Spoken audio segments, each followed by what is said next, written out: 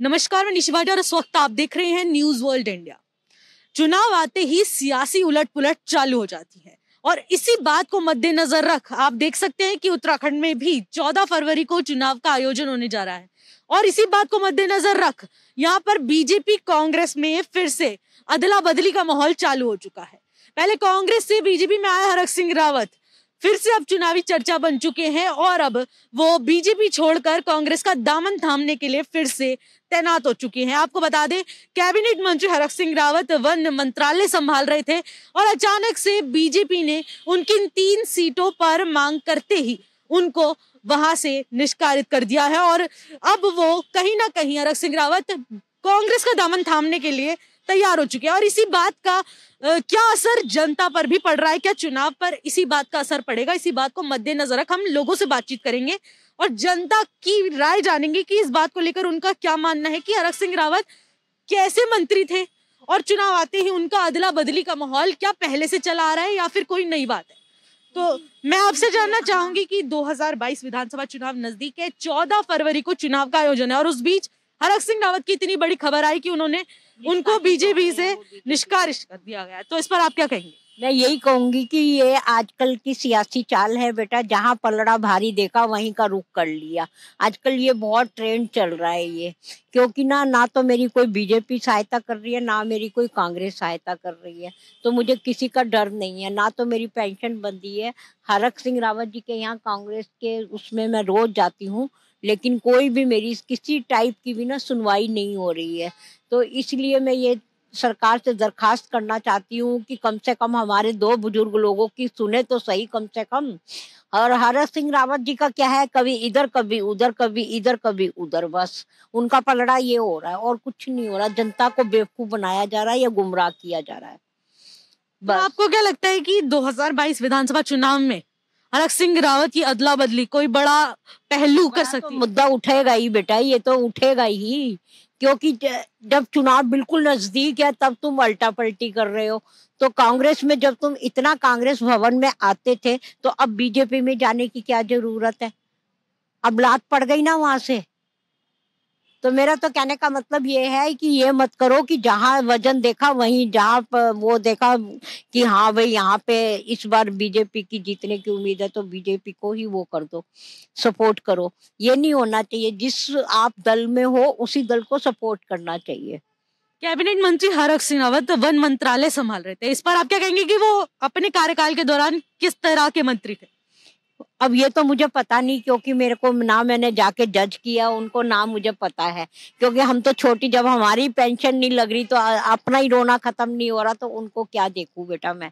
ये बताइए ना मुझे, अब हम दो जने हैं, हम बुज़ुर्ग लोग हैं दोनों, ना तो हमारी पेंशन बन रही है। आज मैं धन जन योजना में गई तो वहाँ पे मुझे जवाब मिला कि आपका खाता ऑलरेडी खुला हुआ है, वो सिर्फ़ उन लोगों के लिए।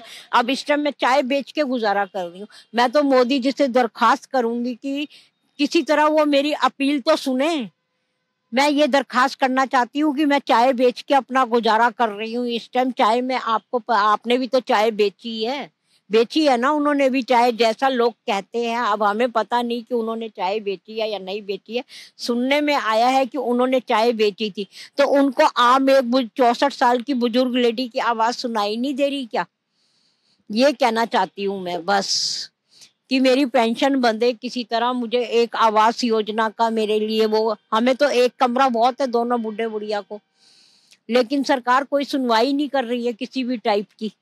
तो जैसे कि इन्होंने बताया कि लगातार 2022 विधानसभा चुनाव को लेकर सरकारों में अदला बदली पहले से ही चली आ रही है और लोगों से भी जानती है कि किस तरीके का माहौल 2022 विधानसभा चुनाव को लेकर बना हुआ है। पहले तो आपको ये बताना चाहता हूँ ना मैं किसी चुनाव पे बोलने वाला हूँ ना ही किसी पार्टी पे। माता जी की एक बात मैंने सुनी तो माता जी ने कहा कि मैं अभी मेरी विधवा पेंशन नहीं है। और ये नहीं सॉरी जो वृद्ध पेंशन है, जो वृद्धा पेंशन है, वो नहीं मिली। तो आप इससे ये समझिए कि हमारे देश में ये प्रॉब्लम अभी से नहीं है, क्योंकि हमारे देश का अमीर वर्ग का समाज कभी किसी को समान रूप से देखना ही नहीं चाहता। और दूसरा कि सब अतिरिक्त के चक्कर में पड़े हुए हैं। कोई रिक्त स्थानों की पूर्ति नहीं करता। और पहली बात तो ये है कि मैं आप मीडिया के माध्यम से भी आप मीडिया वालों को भी ये कहना चाहता हूँ कि आप चौथा स्तंभ है संविधान का। और यदि अगर आप सब ये बात नहीं करेंगे कि इतने हमारे अमीर लोग हैं देखिए संसार में सब कुछ फ्री है लोगों ने कीमत लगा रखी है। कर देंगे तो कोई फ़र्क नहीं आप ये समझिए कि ये जो पेट्रोल है ये खाद्य पदार्थ हैं इस पर आपने कीमत लगा रखी है। क्यों? मुझे ये समझाइए। भाई कीमत लगाने की आप आज आप पे पैसा है तो सब कुछ है। आप पे पैसा नहीं है आप पे डायरेक्टली आप किसी भी कहीं पे भी चले आइए कुछ काम नहीं हो सकता है। तो मैं ये बोलता हूँ कि हमारे एजुकेशन पे क्या किया है? मतलब कोई भी गवर्नमेंट है मैं नहीं बोलता हूँ और काम भी होता है तो दिखता है। आप तो आप आपके हिसाब से क्या लगता है कि 2022 विधानसभा चुनाव में क्या बदलाव आ सकता है देखिए बदलाव तो ये है कि हमारे देश में एक भेड़ चाल है और एक ग्लैमराइजेशन है। और हमारे देश में लोग जब तक जागरूक नहीं होंगे कि हमें अपने गाँव के लिए क्या करना है तो देश की, देखिए, मैं देश के लिए नहीं कर सकता हूँ। मैं सिर्फ़ अपने गाँव तक ही सोच के, अपने लेवल तक ही कर सकता हूँ। तो मुझे अपने गाँव पे ध्यान रखना चाहिए। हम सब क्या करते हैं? बाहर शहर में निकल जाते हैं, बोलते हैं, ऐसा डेवलप होना चाहिए। ये लोगों की मेंटालिटी बहुत गलत है। क्योंकि जब लोग ही सही नहीं होंगे तो सरकार उनको कहाँ से सही मिलेगी? जैसी राजा, जैसी प्रजा, वैसी राजा। एग्ज़ाम्पल वही है। आप कहीं पे भी उठा के देख लीजिए। हमें शिक्षा फ्री में चाहिए रहती है तो शिक्षा हमें मिलती नहीं है। और ये लड़ाई अभी से नहीं चल रही है। आप बोल रहे हो कि सत्तर सालों से लड़ाई है। ये तेरह सौ साल की गुलामी है जो हमारी संस्कृति खत्म हुई है। मैं लोग बोलते हैं कि साठ साल हमारा है और अंग्रेज़ों के गुलाम में और कांग्रेस ने। भैया सब एक ही पार्टी है अमीर और गरीब। सौ की सिंपल सी बात है कि यहाँ पे छोटी से और बड़ी पार्टी को डोनेट कौन करता है? आप ये कभी दिमाग लगाया किसी ने? इतना पढ़े हैं सब। हर कोई भाई पीएचडी करके बैठा हुआ है। उनको प्रचार करने का इतना पैसा कहाँ से आता है? कभी सोचा है किसी ने? तो आपको क्या लगता है इस बार क्या परिवर्तन हो सकता है विधानसभा चुनाव इस बार परिवर्तन वो है जो चाहेगी मीडिया वही हो सकता है। जैसा ग्लैमर चलेगा वैसा बनेगा। तो मेरी राय के अनुसार तो मेरे लिए ना भाजपा सही है ना ही कांग्रेस सही है। मेरे लिए वही सही है कि जो जो देश की जनता के लिए काम करे। कि समान रूप से सबको देखे। आज आप देख लीजिए माता जी ने बताया जैसे मेरे पे घर नहीं है लोगों पे करोड़ों रुपए पड़ा हुआ है। क्या लगाया माता जी को दे दिया? अरे सब छोड़ के जाना है यहाँ पे यार। सब छोड़ के जाएगा बेटा। संसार में सब कुछ फ्री है। तुमने कीमत लगा रखी है। निकले हैं। अगर वो पहले ही अगर गरीबों को बांट देता तो आज ये स्थिति ना होती ना ये बदनामी होती। हमारे जैसे मतलब कि हम जैसे लोग बिल्कुल दर दर भटक भटक के चाय बेच के गुजारा कर रहे हैं लेकिन लोगों के घर से 300 300 करोड़ रुपए निकल रहे हैं तो वो कहाँ जा रहा है? वो पैसा निकल के। हरक सिंह रावत की जो अदला बदली है उस पर आप क्या कहेंगे कि क्या असर है वो? वो तो बहुत बड़ा असर देखिए आप। हरक सिंह की बात करते हैं तो मैं आपको ये बताना चाहता हूँ कि कांग्रेस के ही कई विधायक भाजपा में गए तो आप ये सवाल उनसे भी जाके पूछ सकती हैं कि ऐसा वो क्यों करें? कि भाई कांग्रेस छोड़ के आप इधर गए लोगों को ये समझना चाहिए भाई कि देश में दो ही की सरकार है अमीर व्यापारियों की और किसान की। भैया मेरे दादा ने दो ही बताई है जय जवान जय किसान। और यही दो देश को चला रहे हैं। इनके लिए क्या कर रहे हैं? आज आप बता लीजिए। आज आपने बोला हरक सिंह छोड़ के आए हैं तो आप आज आके यहाँ पे लोगों के उस पे इंटरव्यू ले रहे हैं हरक सिंह ने क्या किया? कभी आपने पूछा किसी से कि भाई वो तुम कांग्रेस में थे पहले, अब तुम भाजपा में क्यों गए? कुछ तो रीजन पूछते उनसे भी तो लोग, जनता को पता चलता, आज तो नफरत की राजनीति फैलाई जा रही है।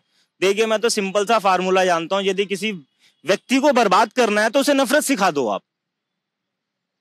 जितने भी हमारे महापुरुष थे, वो प्रेम, ये सब सिखा रहे थे लोगों को, आज आप देख लीजिए सोशल मीडिया के माध्यम से नफरत फैलाई जा रही है और नफरत सीखने वाला आदमी स्वयं अपनी ही आँच में जल के मर जाता है, उसे मानने की ज़रूरत ही नहीं है। आज आप कहीं देख लीजिए, चिंता मतलब चिता। आप अध्यात्म की बात करते हैं, ऐसा कौन सा हमारा सब्जेक्ट है? स्कूलों में कि नाम क्या है, अब वो लाई जा रही है। हाँ अभी शिक्षा नहीं, शिक्षा नीति पे बात हुई है, वो बहुत अच्छे हैं बट उस पर कार्य हो तो और भी अच्छा है। क्योंकि क्या आपको लगता है कि आम आदमी पार्टी की सरकार आ सकती है? क्योंकि वो नए नए बदलाव की बात कर रही है। देखिए आम आदमी की भी मैं बात बता रहा हूँ। किए जाते हैं लेकिन जब सत्ता में सरकार आ जाती है तो कोई कुछ नहीं करता है। सिर्फ़ अपनी कुर्सी की वजह से आप वादे जितने मर्ज़ी कर लो लेकिन निभाता कोई नहीं है।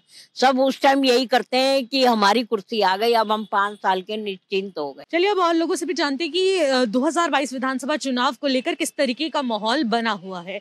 तो मैं आपसे जानना चाहूँगी कि 2022 विधानसभा चुनाव नज़दीक है और ऐसे में राजनेताओं की अदला बदली उठक पटक स्टार्ट हो चुकी है। और उसी बीच हरक सिंह रावत की एक बड़ी खबर आती है कि वो अपनी उनको बीजेपी ने निष्कारित कर दिया है। तो इस पर आप क्या कहेंगे? वो तो सही था। सब सही है अपनी अपनी जगह पर तो सब सही है। लेकिन जो काम अच्छा करते हैं वो अच्छा है। जो काम ही नहीं करता उसको कौन वोट देगा? यही है ना? और यहाँ अदला बदली तो सब नेतों की होती रहती है। जो भी नेता है अदला बदली करते ही रहता है। कोई कभी कोई आ गया कभी कोई आ गया जो अच्छा काम करेगा वही अच्छा है। तो आपको क्या लगता है कि हरक सिंह रावत की अदला बदली से कांग्रेस में शामिल होने से क्या र- राजनीति में फ़र्क पहुंचेगा? नहीं कोई फ़र्क नहीं पड़ेगा। इसमें कोई फ़र्क नहीं पड़ेगा। क्योंकि जो नेता और आएगा वो अच्छा ही काम करेगा। यही है।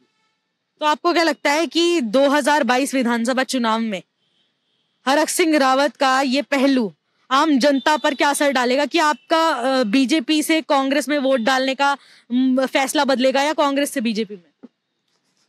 बीजेपी सही है, अपनी जगह पर। वो काम सही कर रही है, जितना काम कर रही है ना, यहाँ पर। हमने देखा है, काम होया वया बीजेपी ने बहुत काम किया है। हर जगह काम अच्छा कर रही है बीजेपी तो चलिए अब और लोगों से भी जानते हैं कि किस तरीके का माहौल बना हुआ है 2022 विधानसभा चुनाव को लेकर। जैसा कि मैंने आपको बताया कि हम राजनीतिक दलों की उलट पुलट के बारे में यहाँ पर बातचीत करने आए हैं तो और लोगों से भी राय जानेंगे कि इसको बात ध्यान में रख के क्या वो सोचते हैं। जैसे कि आप जानते हैं कि 2022 विधानसभा चुनाव उत्तराखंड में नज़दीक है 14 फरवरी को यहाँ चुनाव का आयोजन होना है। इस पर आप क्या कहेंगे? ऊपर से हरक सिंह रावत की इतनी बड़ी खबर कि उन्हें पार्टी से निष्कारित कर दिया गया। देखिए कि पहली ख्वाहिश हर एक की है कि उसके पास जितना है वो उससे भी ज़्यादा चाहता है। तो हरक सिंह जी के अंदर आना की बहुत ज़्यादा है। ज़ाहिर सी बात है कि वो जितना उनके पास है उससे भी ज़्यादा चाहते हैं वो। और देने वालों के पास उतना है ही नहीं जितना वो चाहते हैं, है ना? तो राजनीति में सारी की सारी उथल पुथल का असर सीधा सीधा जो है कांग्रेस को मिलेगा इसका फ़ायदा तो। क्योंकि दो सीटें तो और अगर वो जीतते हैं तीन सीटें जीत लेते हैं तो एक बड़ा उलट फेर जो है हो सकता है यहाँ पर। है ना? हाँ। इनका छोड़ना रख सिंह रावत का बीजेपी को बीजेपी के लिए ज़्यादा अच्छा नहीं है। इसका फ़ायदा सारा कांग्रेस को मिल रहा है। जिन तीन सीटों की बात हरक सिंह रावत ने बीजेपी में करी, क्या वो आपको लगता है कि कांग्रेस दे पाएगी? नहीं, देखिए, बात अवसरवादी है ना। हर कोई अवसरवादी है, राजनीति का मतलब अवसरवादी। अगर उनको लगता है कि हाँ ये जीत लेंगे सीट वहाँ से, वो उनको देनी पड़ेगी। है ना? लेकिन लगता नहीं है कि जो सीट की बात वो कर रहे हैं, वहाँ काऊ जीतने देंगे उनको। दमदार हैं, दबंग हैं वो भी। और देहरादून की राजनीति में तो सबसे बड़ी बात यह है कि जो जितना बड़ा दबंग है वो उतना बड़ा नेता है।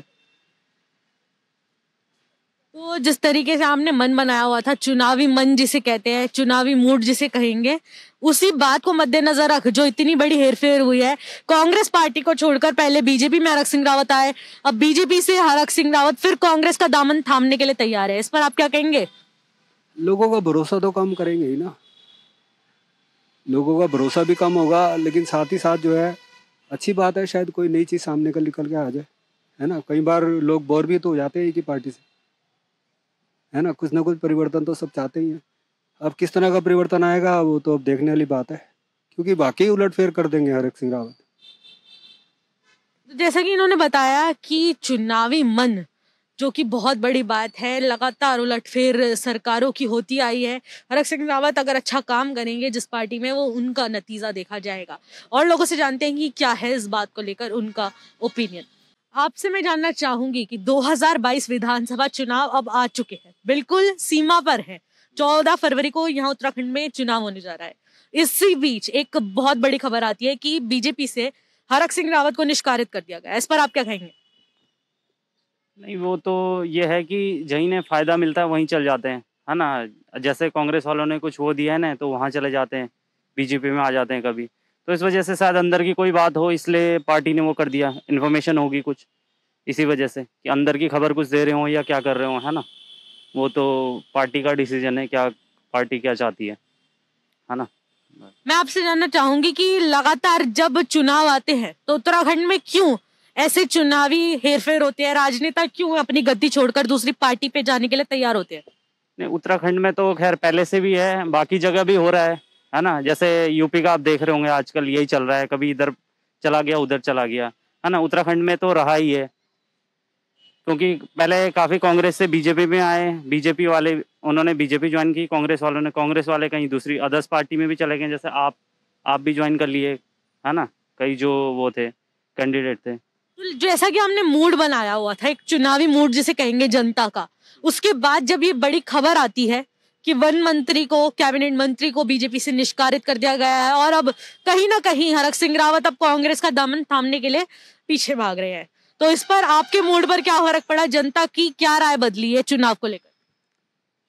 नहीं, देखो जो बेसिकली है विचारधारा एक, जैसे बीजेपी वाले हैं, जो बीजेपी को वो करते हैं सपोर्ट करते हैं। फ़र्क तो पड़ेगा, वैसे ऐसी बात नहीं है, जैसे कुछ जो बंदे थे, हरि, हरस, जो हरक सिंह रावत है, उनको सपोर्ट करते थे। हो सकता है उनके वोट उसमें जाए, लेकिन ऐसे में तो इमेज ही खराब होती है, नेता की ऑलमोस्ट जो है। है ना? पर कहीं ना कहीं हरक सिंह रावत दावा कर रहे हैं कि उन्होंने बीजेपी छोड़ने के बाद अब कांग्रेस में जा रहे हैं तो कांग्रेस इस बार सत्ता में आएगी।